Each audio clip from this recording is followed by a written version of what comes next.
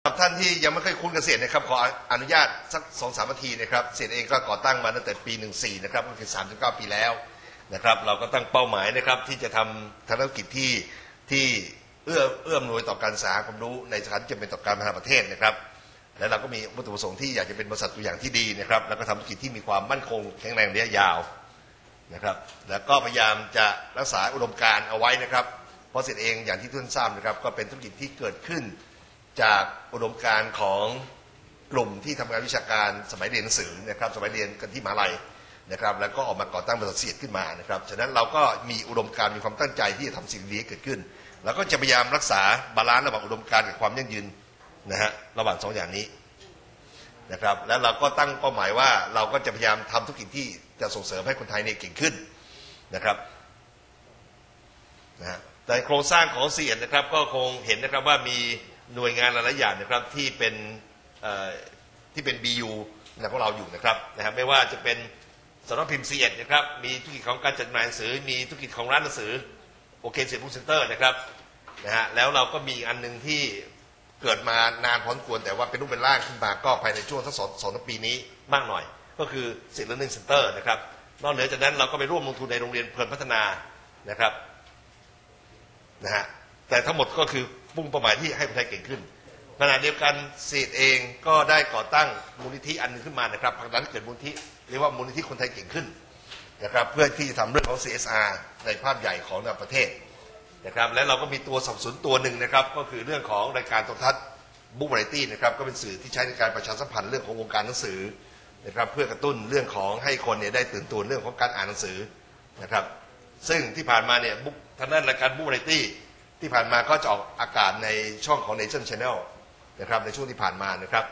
แต่หลังจากที่กำลังมีประกาศเรื่องของดิจิ t a ลทีวีนะครับเราเองก็ move มาอยู่ที่ช่องวันของแกรมมี่นะครับซึ่งก็ได้เวลาที่ดีขึ้นกว่าเดิม คือได้เป็นวันอาทิตย์นะครับในช่วงเวลาประมาณสัก9ก้าโมงครึ่งถึง 10บโมงเช้านะครับก็หลังจากที่ดิจิ t a ลทีวีออกอากาศเมื่อไหร่ เราก็จะเริ่มออกอากาศดิจิ t a ลทีวีตามไปด้วย นะครับ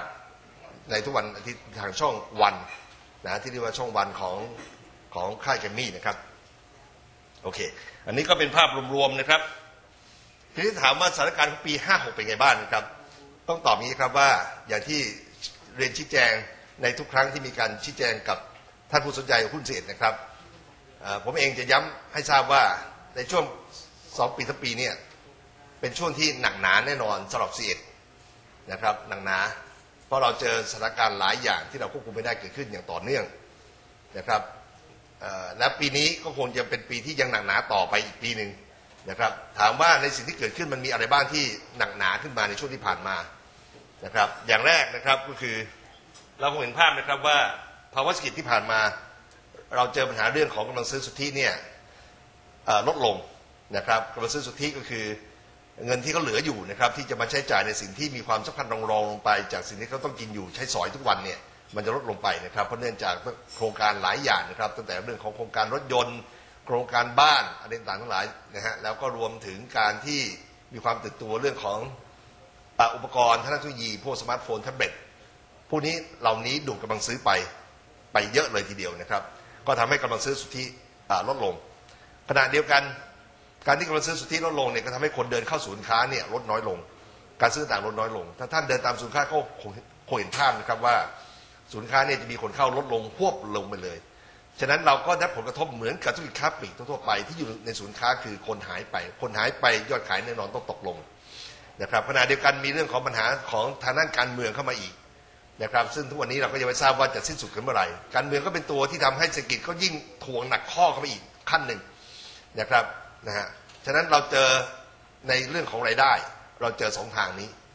นะครับคือเจอปัญหาเรื่องของกำลังซื้อสุทธิเรื่องของการเมือง ซึ่งก็คือเรื่องของสถานการณ์เศรษฐกิจโดยรวมทั้งหมด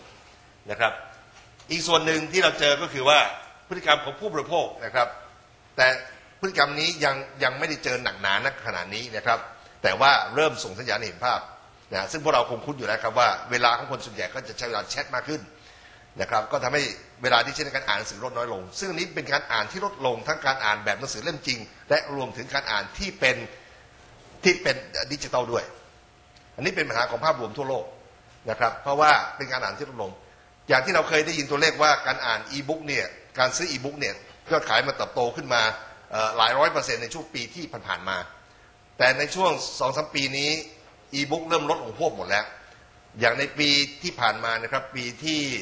ในปี 56 เนี่ยนะครับยอดขายอีบุ๊กในตลาดอเมริกาซึ่งถือว่าเป็นการขายตลาดอีบุ๊กที่ใหญ่ที่สุดของโลกนะครับก็เติบโตลดลงมาเหลือเพียงแค่ประมาณแถวๆสักห้าเปอร์เซ็นต์เองจากเดิมที่เคยเป็นเป็นตัวเลขเป็นร้อยเปอร์เซ็นต์สองร้อยเปอร์เซ็นต์ขึ้นนะครับต่อปีนะฮะมันก็ลดลงมาปีก่อนนู้นก็ลดมาเหลือประมาณสักยี่สิบเปอร์เซ็นต์แล้วก็ตอนนี้ก็ลดลงมาเหลือประมาณห้าเปอร์เซ็นต์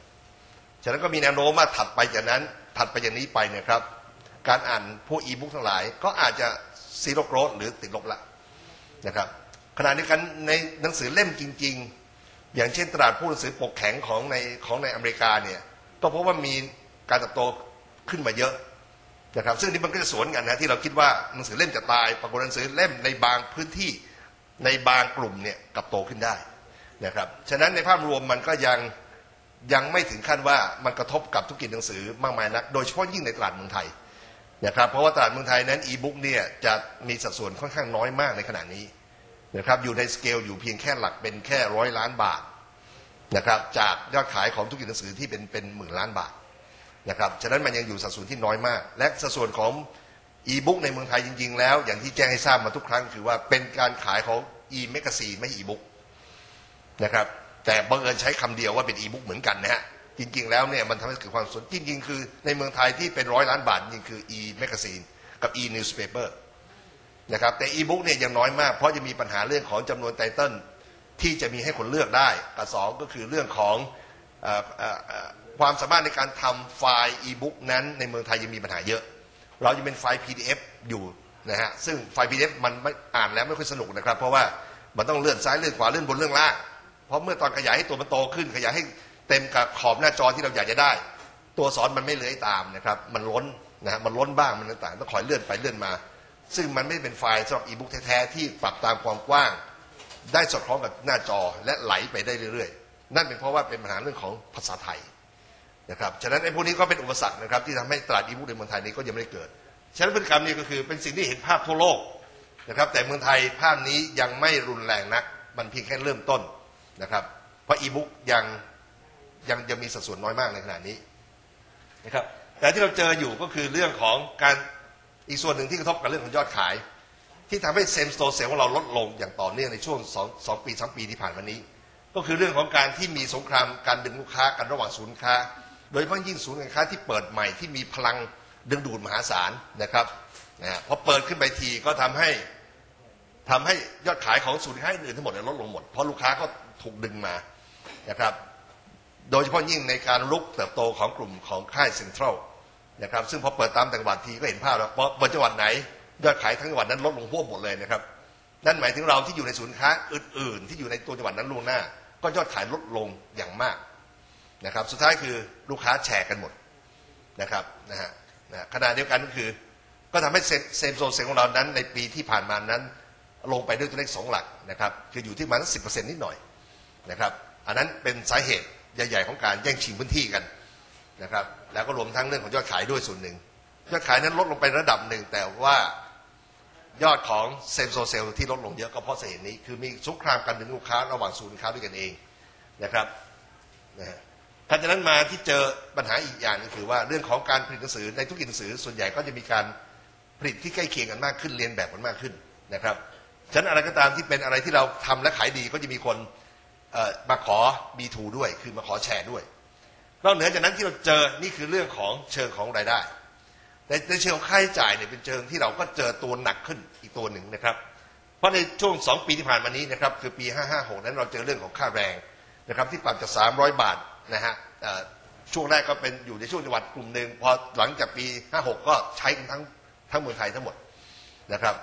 ซึ่งก็คือที่เท่ากับการเติบโตประมาณสัก 40%ของค่าใช้จ่ายแรงงานนะครับรวมทั้งการที่รัฐบาลเองก็ประกาศเรื่องนโยบายของ 15,000 บาท อ่านะนะครับ ซึ่งทั้งสองส่วนนี้ก็มีผลกระทบนะครับ ในเรื่องของค่าใช้จ่ายของเราที่สูงเพิ่มขึ้นพรวดขณะเดียวกันพื้นที่ของศูนย์ค้าเองก็มีแนวโน้มที่แพงขึ้นด้วย ค่าขนส่งแพงขึ้นนะครับ อย่างช่วงไม่นานนี้ค่าขนส่งบางบางบางเส้นทางของเราบางส่วนของเราเนี่ยสูงเพิ่มขึ้นถึง 40%นะครับนะครับคือขึ้น 40%นนะครับ ฉะนั้นพวกนี้ก็